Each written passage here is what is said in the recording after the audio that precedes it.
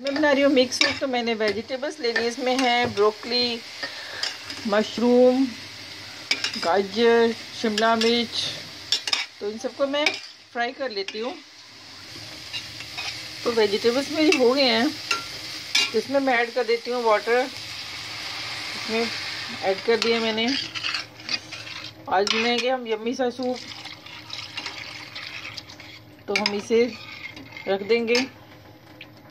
तो इसे मैंने रख दिया है तो ये थोड़ी देर तक होगा तो इसमें मैं थोड़ी सी ब्लैक पेपर डाल देती हूँ।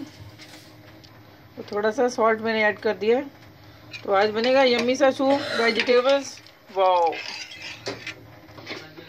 तो सूप मेरा होने वाला है तो इसमें मैं अब थोड़ा सा कॉर्नफ्लोर ऐड कर देती हूँ। कॉर्नफ्लोर को ले लिया मैंने। इसे हम मिक्स कर लेते हैं थोड़ा सा सूप डाल के। तो इसको मैंने फेंट लिया है तो इसे हम मिक्स करेंगे। तो इसमें हम मिक्स कर देंगे कॉर्नफ्लोर तो इसे अब थोड़ी देर हिला लेंगे। तो मेरा सूप रेडी होने वाला है। तो सूप मेरा तैयार हो रहा है तो अब मैं ऐड करते हैं इसमें पनीर।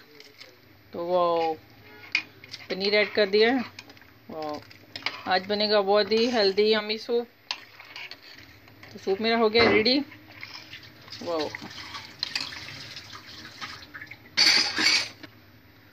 तो इसमें ऐड कर दिए ब्लैक पेपर तो सूप हो गया तैयार. तो इसे हम सर्व करते हैं. वो यमी यमी सूप